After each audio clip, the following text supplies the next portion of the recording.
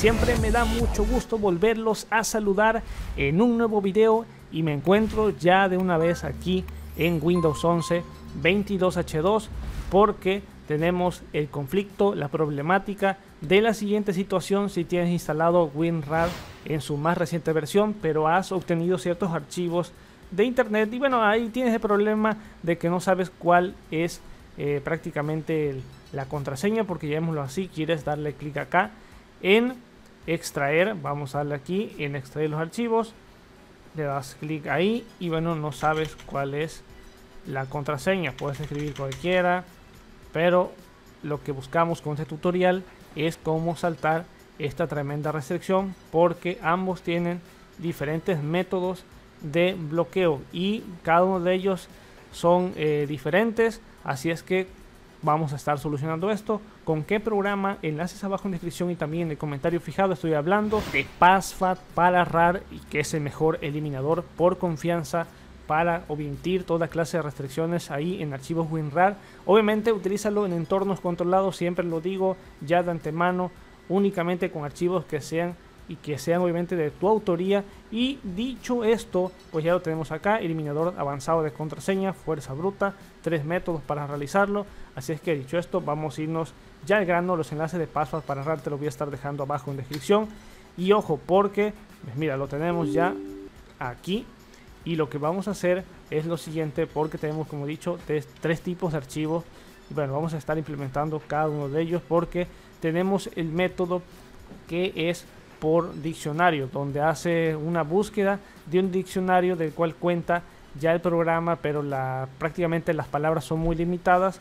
Y tenemos otro por máscara que hace la personalización a partir de letras minúsculas, mayúsculas, números, símbolos, los prefijos, longitud mínima, máxima. Y otro que es el de la fuerza bruta. Y este prueba todas las combinaciones posibles que hay y existen eh, prácticamente en toda la red. Más sin embargo va a llevar demasiado tiempo, va a gastarte mucha batería, GPU y lo, por lo tanto el rendimiento del sistema va a ser algo imprecedente y así es que lo que vamos a hacer es darle este método por fuerza bruta. Y antes vamos a seleccionar el archivo, lo arrastramos ahí que voy a seleccionar el archivo de primera instancia este de Minias. Y vamos a darle aquí en empezar comienza la búsqueda comienza a realizar este proceso. Vamos a esperar un poco a que nos las descifre ahí. Vale ya lo tengo aquí he demorado un poco pero tenemos felicidades la contraseña se ha encontrado a u y 1 vamos a darle aquí clic en copiar. Podemos llevar a cabo esto darle aquí clic en extraer los archivos. Nos estará pidiendo aquí en el escritorio. Vamos a darle acá en pegar y observamos que ya nos estará extrayendo las miniaturas, los archivos acá.